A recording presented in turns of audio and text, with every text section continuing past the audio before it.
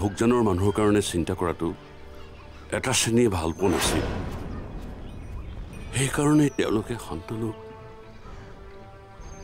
আচলতে মানুহ শিক্ষিত হ'লে এটা শ্ৰেণীৰ মানুহে ভাল নাপায়। তাৰমানে মোৰ মা দেউতাৰ মাৰ্ডাৰ হৈছে। কালি বৌ ঘৰলৈ গুচি যোৱাৰ কথাটো আপুনি সহ্য কৰিব পৰা নাই। আচলতে আপুনি কেনেকুৱা মনৰ মানুহ ভালকৈ বুজি পাওঁ। আপোনাৰ মনটো বহুত সৰল। কিন্তু আপোনাৰ এই সৰল মনটোক আন কোনোবাহে সলনি কৰি থৈছে। মই গুৱাহাটীত থাকি ভোগজানৰ লগত মনৰ সম্পৰ্ক কেনেকৈ কৰোঁ ভোগজানৰ কথাবোৰ তোমালোকৰ মুখত শুনিলে মোৰ কিবা সাধু কথা শুনা যেন লাগে। সেইকাৰণে তোমালোকৰ সপোনবোৰৰ প্ৰতি মই দায়বদ্ধ নহ'লোঁ। কালি ৰাতি মই অৰুন্ধতীক আমাৰ ঘৰলৈ লৈ আহিলোঁ। কি? হয় ছাৰ। অৰুন্ধতী সেইখন ঘৰত একেবাৰে থাকিব নোৱাৰা অৱস্থা। তাই ময়ূৰলৈ ফোন কৰি তাইক তাৰ পৰা লৈ আহিবলৈ ক'লে। গতিকে মোৰো একো উপায় নাইকিয়া হোৱাত মই গৈ তাইক লৈ আহিলোঁ। মোৰ নাতি হৈ চৌধুৰী বংশৰ ল'ৰা হৈ তই এনে কিছুমান ঘৃণনীয় কাম কৰিছ য'ত মোৰ জীয়াই থকাৰ আশা আৰু সপোনবোৰে নাইকিয়া হৈ গ'ল। মানুহৰ আগত তই মুখ উলিয়াব নোৱাৰা কৰিলি।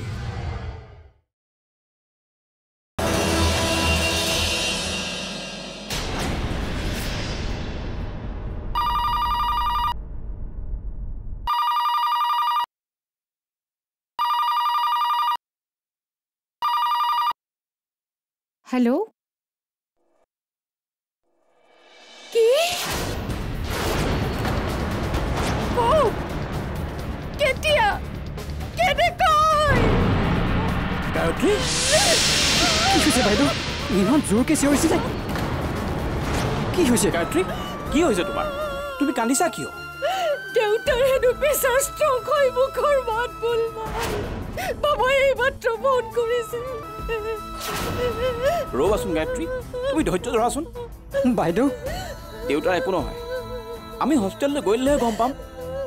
ৰ'বা তুমি চিন্তা নকৰিবা। আমি এতিয়াই দেউতাৰ ওচৰলৈ যাম।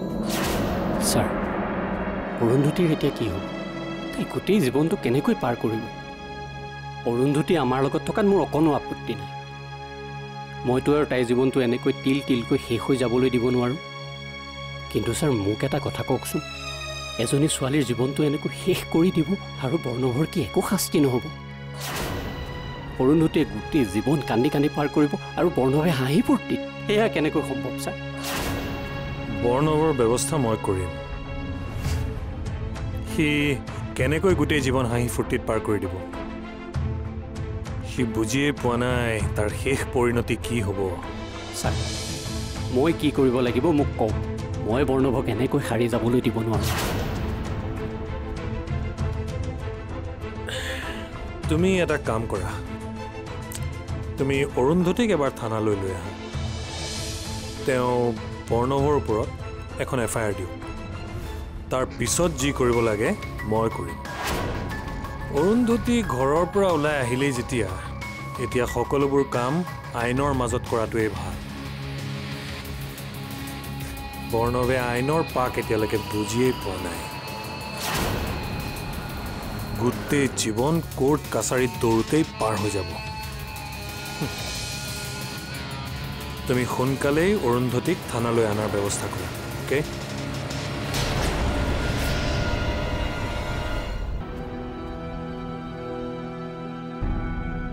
কথাবোৰ নিউজ পেপাৰত দিয়াৰ ব্যৱস্থা কৰা।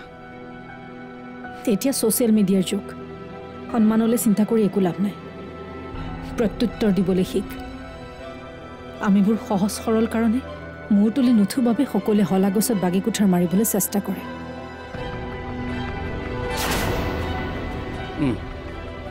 তুমি ঠিকেই কৈছা। অৰুন্ধতীৰ দৰে ছোৱালী এজনীৰ লগত বৰ্ণভে এনেকুৱা কৰিছে বুলি।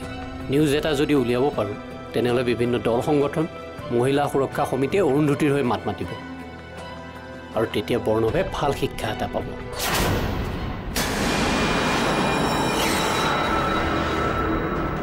এতিয়া ব'লক আপোনাৰ শাস্তি কিমান ডাঙৰ হ'ব? আপুনি নিজেই গম পোৱা নাই।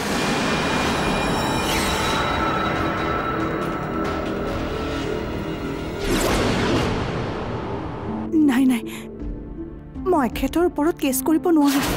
কিন্তু কিয় ভণ্টি? তোৰ লগত ইমানবোৰ অন্যায় হৈছে। তই কিয় ন্যায় নিবিচাৰ? নালাগে মোক ন্যায়। এখেতক জেলৰ ভাত খুৱাই মই ন্যায় নিবিচাৰোঁ বা। কিন্তু আমাৰ হাতত এতিয়া অন্য উপায় নাই অৰুন্ধতী। আৱেগেৰে কথাবোৰ নাভাবিবা। যুক্তিৰে ভাবা। তুমি বৰ্ণভৰ কথা ভাবি কেছ দিবলৈ মান্তি হোৱা নাই। কিন্তু বৰ্ণভে জানো তোমাৰ কথা এবাৰ ভাবিলে? বৰ্ণভে আগতে তোমাৰ লগত যি কৰিলে আমি জানোৱেই। তাৰোপৰি সেইদিনা তুমি আহোঁতেওতো এবাৰো বাধা নিদিলে। সেইকাৰণে এতিয়া সতী সাবিত্ৰী হৈ লাভ নাই ভণ্টি। এতিয়া নিজৰ ভৱিষ্যতটো কেনেকৈ সুৰক্ষিত হয় সেইটো চিন্তা কৰা। কাইলৈ ডিভ'ৰ্চ বিচাৰিলে। তোমাৰ ফালৰ পৰা থানাত কেছ এটা দিয়াটো অতিকৈ প্ৰয়োজন। পৃথিৱীখন দেখিছ নহয়? এতিয়া পৃথিৱীখন যেনেকৈ চলিছে তেনেকৈ চলিবলৈ শিক। নদীৰ বিপৰীত সোঁতে গৈ একো লাভ নাই। বা ভিন্দিও মই হাতযোৰ কৰিছোঁ।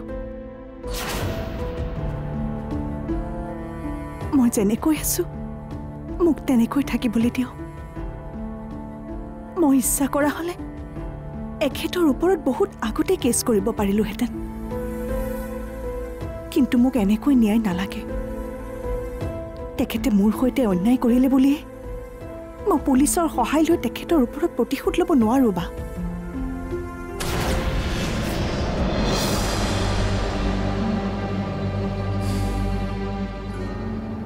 এখেতক মই অপদস্থ কৰিলে গোটেই ঘৰখনকে আৰু ককাকো অপদস্থ কৰা হ'ব। গতিকে মই এনে কাম কৰিব নোৱাৰিম বা এখেতে মোক পত্নী মৰ্যাদা নিদিলেও মইতো মনে প্ৰাণে এখেতক স্বামী বুলিয়ে ভাবোঁ।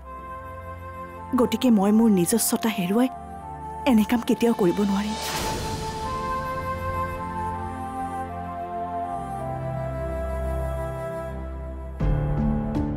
মই জানো আইনৰ সহায় ল'লে আইনে মোক এখেতৰ কিছু সা সম্পত্তি আৰু মাহটো চলিব পৰাকৈ টকাৰ ব্যৱস্থা কৰি দিব পাৰিব। কিন্তু মোৰ সংসাৰখন আৰু এখেতক জানো উভতাই দিব পাৰিব।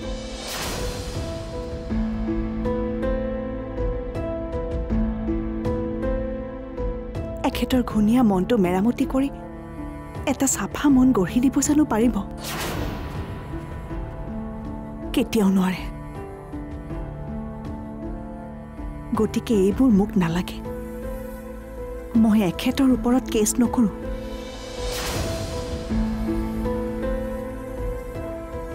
এই সা সম্পত্তি আৰু টকা পইচাৰ সুখে মোক কিমান দিন সুখী কৰি ৰাখিব বা?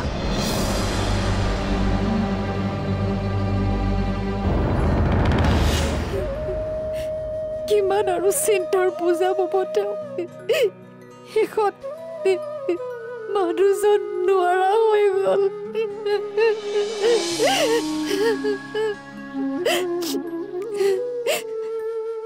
অৰুন্ধতীক মই ইমান ক'লো এইখিনি সময়ত দেউতাৰ মনত দুখ নিদিবা। কিন্তু সকলোৱে কেৱল নিজক লৈয়ে ব্যস্ত। কোনেও কেতিয়াও এবাৰ হ'লেও দেউতাৰ কথা নাভাবিলে গোটেই জীৱনটো চলিব পৰাকৈ মই নিজাকে কিবা এটা ব্যৱস্থা কৰি ল'ম আৰু। তহঁতৰ ওপৰত বোজা হৈ থাকিবৰ ইচ্ছা নাই। তই তেনেকে কিয় কৈছ? তই আমাৰ ওপৰত বোজা কেতিয়াও নহ। নহয় বা। দেউতাই ভোগজানত সাজি থোৱা ঘৰখনলৈ মই যামগৈ। জীৱনৰ বাকী সময়ছোৱা তাতেই কটাম বুলি ভাবিছোঁ।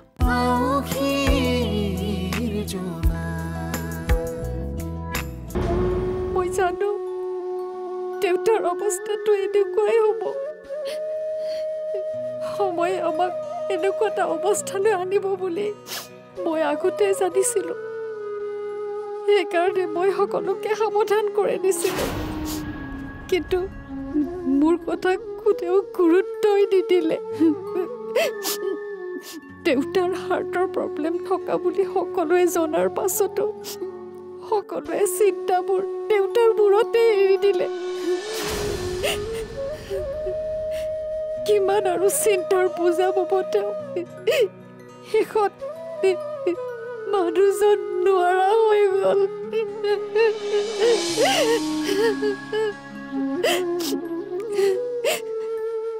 অৰুন্ধতীক মই ইমান ক'লো এইখিনি সময়ত দেউতাৰ মনত দুখ নিদিবা। কিন্তু সকলোৱে কেৱল নিজক লৈয়ে ব্যস্ত। কোনেও কেতিয়াও এবাৰ হ'লেও দেউতাৰ কথা নাভাবিলে আচলতে অৰুণোতে ঘৰ এৰি যোৱা কথাটোত দেউতাই বৰ কষ্ট পালে। এজনী বোৱাৰী হৈ অৰুণোতে দেউতাৰ কথা ভাবিব লাগিছিল। সমস্যা কাৰ জীৱনত নাথাকে সকলোৰে থাকে। সেই বুলি কোনোবাই এনেকৈ ঘৰ এৰি যাব লাগেনে? আচলতে এই কথাটোত দেউতাই অন্তৰত বৰ দুখ পালে। দেউতাৰ জীৱনত এনেকুৱা এটা দিন কেতিয়াও অহা নাছিল। ময়ো তাকেহে ভাবিছোঁ। এইকেইদিন দেউতা বৰ চিন্তাত আছে। হে ভগৱান দেউতাক বচোৱা।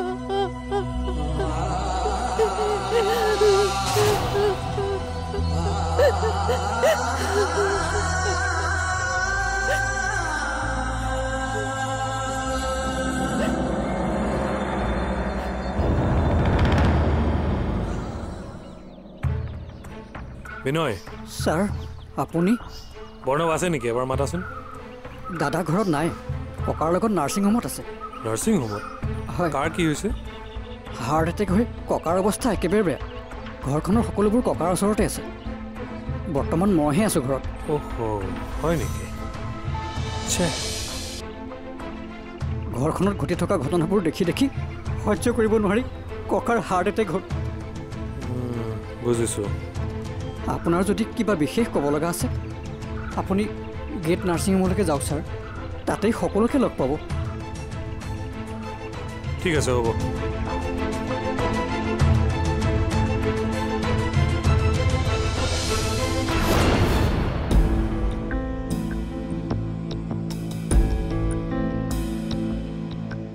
মই তোমাৰ কথা বুজিছোঁ। কিন্তু অৰুন্ধতী সন্মান তেওঁকহে কৰিব লাগে। যি তোমাক সন্মান কৰে।